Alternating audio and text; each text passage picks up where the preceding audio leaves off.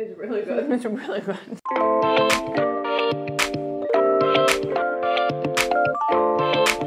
Okay guys, I haven't done one of these videos in a really long time. You know, maybe a year ago or so, a few months ago, I was testing out a lot of YouTubers' recipes. And I kind of stopped for a while because you guys were asking for more um, recipes that I was writing. Today I thought it would be fun to go back to that, except with a twist. Hey guys, I'm Candice the Veg. Welcome to my channel. If you're new here, hello welcome. Uh, hit that subscribe button. I make new videos every single week and you don't want to miss out on them. So one of my favorite things to make is lasagna. I find one of the most poorly executed vegan dishes is a vegan lasagna. So I thought I would you know, head to head some, some vegan YouTubers and see who has the best lasagna. So today I am pitting Gaz from Avant Garde Vegan against Rose from Cheap Lazy Vegan against Caitlin Schumacher. And I'm going to see which lasagna I like best. I also wanted to give you guys a variety of different types of lasagnas. So one is going to be your traditional bechamel ragu lasagna. The other is going to be the quick, easy, cheap version and then, but delicious. And then the last one is going to be a dairy-free, gluten-free, grain-free, um, version of a vegan lasagna. And I'm super excited because today our video is sponsored by Skillshare. We love Skillshare. They sponsor us all the time and we love the support. Thank you so much for supporting vegan creators. If you are unaware of what Skillshare is, it is an online learning community. They offer amazing courses for, you know, us creative and curious people. There is a link in the description box where you can learn more about them and get a very special deal, but more about that a little bit later. All right, before I start this, I did want to point out that I am very aware that each one of these YouTubers has a very different cooking style. It's not really like picking the best one. So I am aware that they, you know, are very different cooking styles, very different levels of cooking. So it's more just based on like flavor and technique and reviewing the recipe for you. All right, so the first recipe that I'm going to test out is Rose's from Cheap Lazy Vegan mainly because this is super easy. I would say out of the three recipes, this one is definitely the easiest. She just shows you how to make, you know, a basic, delicious sauce and then a tofu ricotta, which actually is very similar to my recipe with a couple differences. So I'm super excited to try hers. We've gone ahead and made those elements because you guys have seen us make tofu ricotta and like marinara sauce. But I'm gonna go through everything that she uses. So it's a very, I would say in true Rose fashion, it's easy, there's not a lot of ingredients, really inexpensive ones. Perfect for Rose and her cheap, lazy veganness. So with hers, you pretty much just need the tofu ricotta. You need the sauce, which we've gone ahead and made. It's just cans of tomatoes, onions, garlic, paprika, garlic powder, that sort of thing. She also suggests that you can add in optional add-ins like seitan pieces, fresh basil, vegan sausages, or shredded cheese for topping. So I've gone ahead and grabbed some vegan shredded mozzarella because I thought it would be cute. And then just oven seven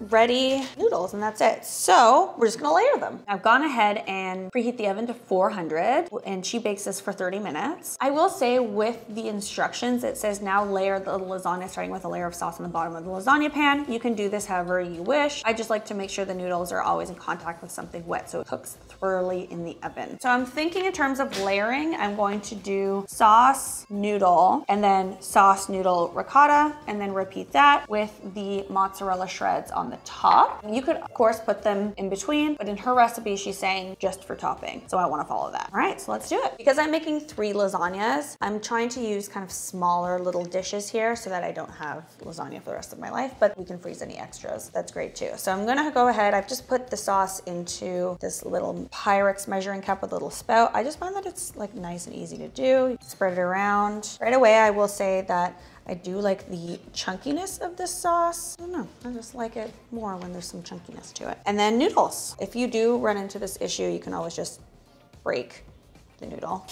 Oh and add it like that. And I like to save these for if I'm making like a lasagna soup or something. These are great noodles to throw in there or like any noodle soup, you can just throw them in there. All right. For the bottom layer, you'll see I added three. This is just more for structurally to keep it, you know, with a solid bottom. The rest of the time, I'll probably just use two of these per layer. All right, so we have our sauce there. I'm going to go ahead and just add the ricotta. I'm just using my fingers, I find is the easiest way to do it. I probably would have wanted more sauce, but I don't know, we'll see when we get to the very end. Especially since I'm using a pretty small dish. I think that this is going to be enough sauce for like this and not a larger size pan. This recipe makes a lot of ricotta, which I do love. Okay, and then repeat that.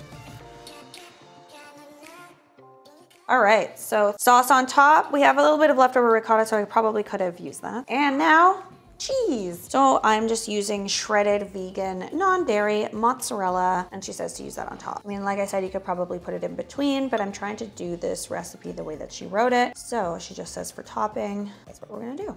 I think a nice layer of cheese on the top is nice. So the first one is done. All right, I have the other lasagna hanging out in the back there. I'm going to bake them at the same time because I don't want to pre-bake any of them and then do the taste test because I don't think I'm getting like the full experience if it's not like warm and gooey and at its best. The second one that I have here is a gluten-free, dairy-free, and grain-free. It is from Caitlin Schumacher or Shoemaker, and the recipe is from the blog FromMyBowl.com, which is her blog. So this one is more of your healthy version, or if you have a lot of food intolerances like grain and gluten and all those things. Whereas the other two is more traditional. For our like meaty part of the lasagna, we have lentils and vegetables. So like lentils, carrots. For the noodles part, we have eggplant. Now she just says eggplant, so that's usually traditional eggplant, but the store that I went to didn't have any, so I have Japanese eggplant that I'm going to use instead. I don't find there to be a huge difference in how you work with them or flavor flavor, the sizes are different. So our medallions are going to be a little bit smaller, but I kind of like that. For the cheese, she suggests making her recipe for vegan ricotta, which is on her website, which I did do. I will be honest, not my favorite vegan ricotta recipe. I definitely, I mean, I obviously love mine.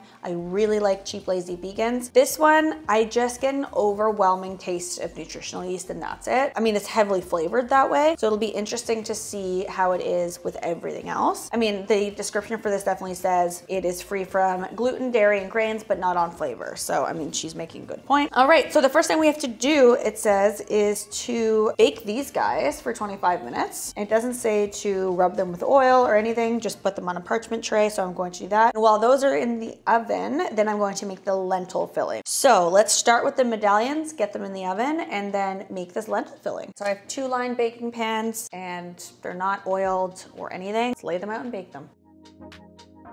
I will say that I find it to be a crazy amount of eggplant. It says three large eggplants and these aren't even large ones. These are just like Japanese ones, so they're smaller and it makes a ton of eggplant. I'm wondering if maybe this is meant for like a huge tray. It just says large casserole dish. It doesn't really specify a size. Maybe it is because these tend to shrivel down. That's why we're testing these recipes.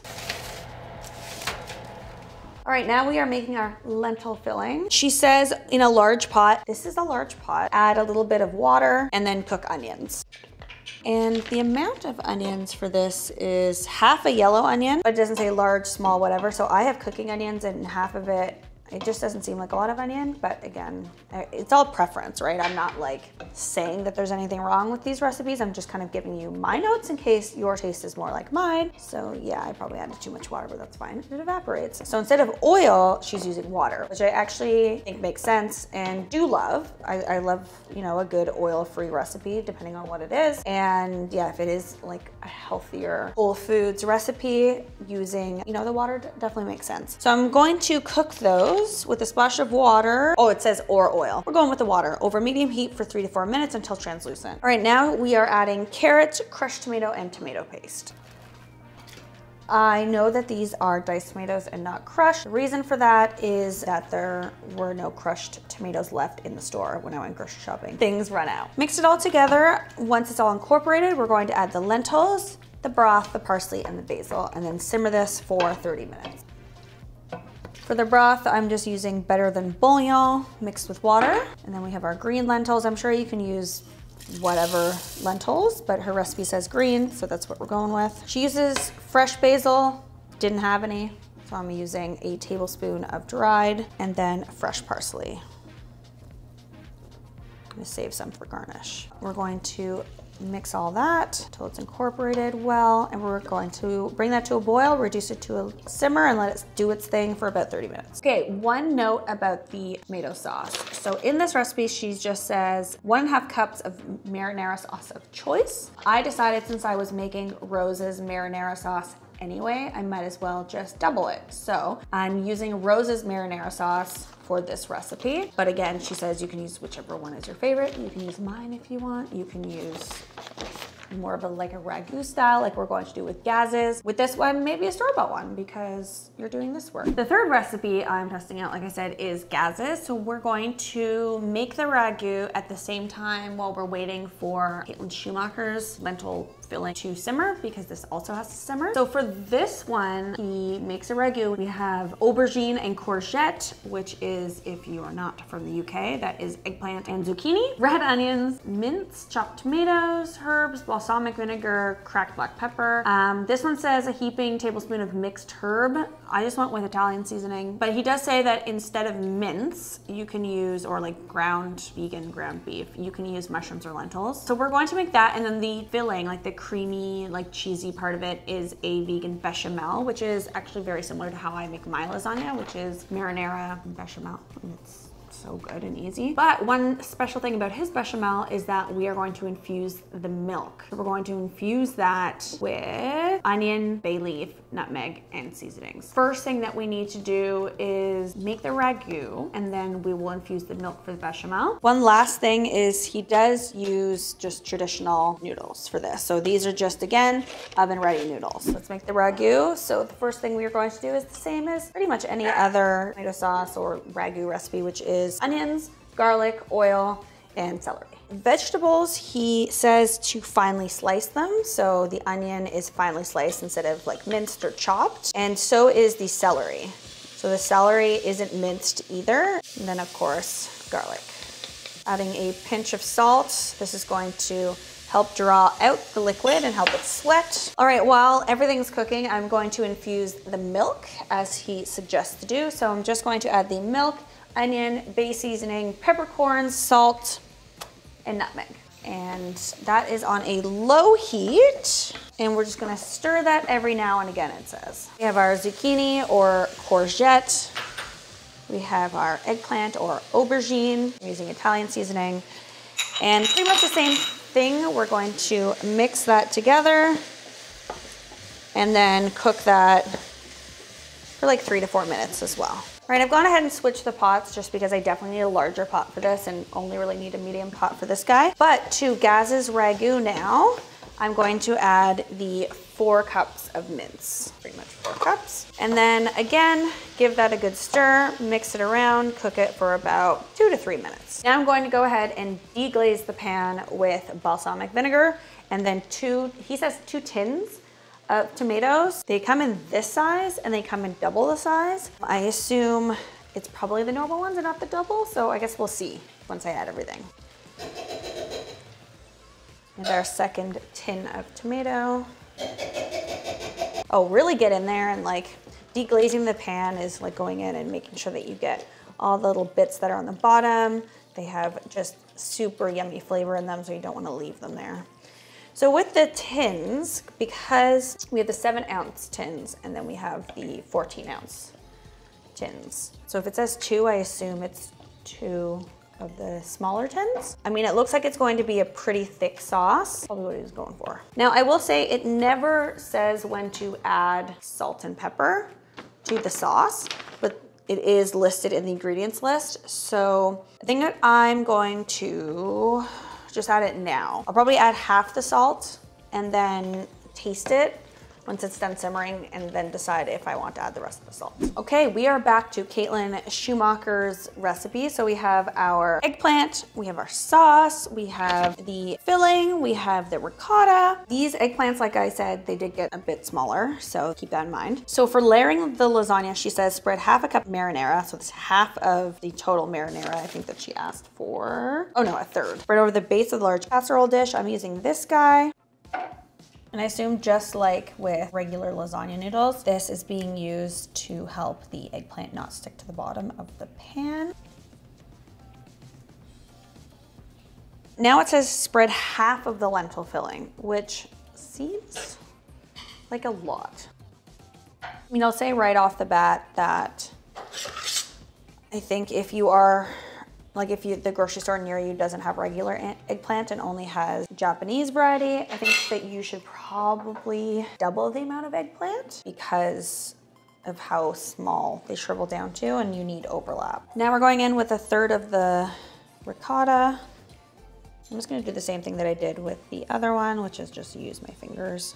It's kind of, you know, has its own layer. Another layer of eggplant. This one breaks all the rules that I'm used to with uh, lasagna. All right, so we're making the bechamel. We are melting margarine, vegan margarine, over low heat. Now I'm adding in the flour and just mixing it around with a spatula until it resembles a paste key is that you want to cook out the flour, or cook the flour so you can cook out that flour, like that raw flour taste. So it is super important that you let it cook for a few minutes and just stir it constantly. I would say anywhere between, depending on how much flour you're using, anywhere between like two and five minutes. Okay, so after you have your paste, it says to gently or gradually whisk in the infused milk a little bit at a time. Now it doesn't say to remove anything out of the milk. I assume that we should. On its own, it's really good. It's a really great bechamel. It's really delicious. It's flavorful, but yet subtle. It's super creamy. I love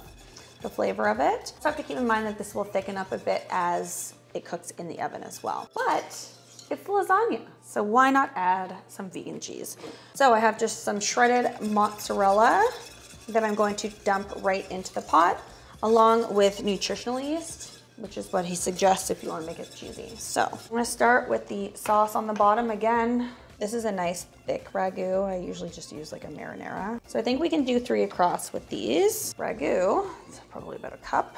And now the bechamel. I'm gonna start with a cup and go from there. Mm, I would probably do a little bit more than a cup here. Just be very mindful of what your top layer is going to be. So you definitely want it to be the bechamel. All right, I think after this one, we can do one more layer. I added a nice big thick layer of bechamel on the top because I like a really big thick layer.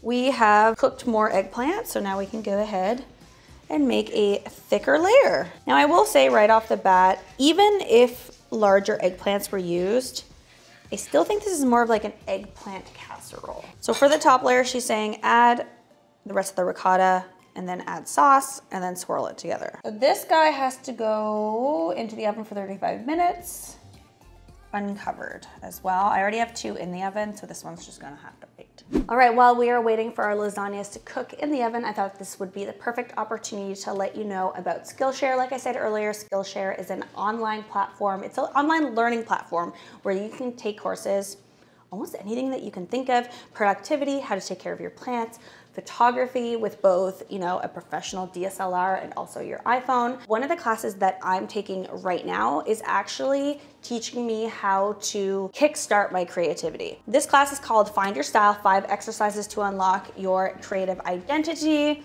It looks like this. The teacher of this class is Andy J. Pizza. And for someone like me who has been kind of doing the same thing, but is a creative and loves to create things and you know, creativity comes and goes. So it's really easy step-by-step guides to really kickstart that creativity and put it into whatever art or food or photography or whatever it is that you're creating, maybe a product. And it's a great way to, you know, maybe you lost your job during the pandemic and you're trying to figure out what's next. So these courses are really great for that. So exclusively for you guys Edgy Veg viewers, Skillshare is offering the first thousand people to use my download link. It's in the description box. And they will get a free premium membership. And after that, it's only $10 a month, which is a, that's a great deal to learn whatever it is that you need to learn in your life or want to learn. All right, we have our three, I was about to say pizzas, they're lasagnas. Um, we have our three lasagnas. We have Cheap Lazy Vegan, we have the Avant-Garde Vegan, and then we have Caitlin Shoemaker. I don't know, let's start with Rose's. Mm-hmm. It's good. I'll it's like make it. Mm-hmm. I would definitely make it too. It's giving me like everything I want from a lasagna without the time commitment of making like 12 different things for different layers. It's a perfect like weeknight lasagna. Oh yeah, I like bring to a dinner party because nobody else is a vegan. We try maybe the gluten-free one. I mean, mine's kind of a pile. I'm getting some lasagna flavors, but more like man, you know, like manicotti. Is that what it's mm-hmm. called? When it, it's like a lasagna, but with eggplant. I'm getting more of that or like a casserole. Like the flavors are really good. I just don't know that I would call it a lasagna. Yeah, I feel like I could use more sauce. Yeah, definitely more sauce. I kind of wish the filling was saucier too. Mm-hmm. The flavor's really good. I really like the flavor, but it's definitely coming off as more of like a stew or casserole. I would also do this, but instead of the eggplant, use gluten-free noodles that you can buy. I'm really excited about this one. Yeah, it just looks like everything I remember. It looks like a Gaz recipe. It, sure. it really does. That like rusticness to it. Really good. It's really good. It's really good. Yeah, I'm just always gonna love a lasagna with bechamel. and it's like complex. There's like layers of flavor. Mm -hmm. And honestly, it was not difficult to make and it didn't take that long. It's a bechamel for me. Yeah, I mean, it's really good. Like, I'd eat it in a restaurant and pay for that happily. Yeah, they're all good, but I think Gaz wins this one. Oh, yeah. In terms of like best lasagna, I think Yeah. he definitely. I think it's Gaz. If I was gluten free, my only qualm would be that it ends up in a pile kind of like this. So I would really want there to be some gluten free noodles. But if you're not into like store bought gluten free things, then I mean, it's delicious. It's just not lasagna. For like a plant based Whole Foods food, though, it's It's good. Yeah. Honestly, if I'm perfectly honest, I didn't think I was gonna like it, and I and I do. Like it's really tasty. It's just not a lasagna. And then Rose, like Rose always delivers because it's just it's easy. You can find all the ingredients. It's no time. There you go, guys. You win this round. What should we do next? Let us know in the comment section. Like, what is the recipe that you want us to try? Like, is it a mac and cheese from three different people? And then let us know who you want us to pin against each other. All right, thank you so much to Skillshare for sponsoring yet another video and supporting creators like me that are vegan. Don't forget that the first thousand people to click the link in the description box get a free premium membership from Skillshare, and after that, it's only $10 a month. All right, guys, I hope you have a great day, a great week. Do whatever you're doing. I hope it goes well. And if you're new here, hit the subscribe button. If you love lasagna, give this video a big thumbs up and let me know if you have any suggestions for people to pit against each other by leaving them in the comment section down below. Okay, bye.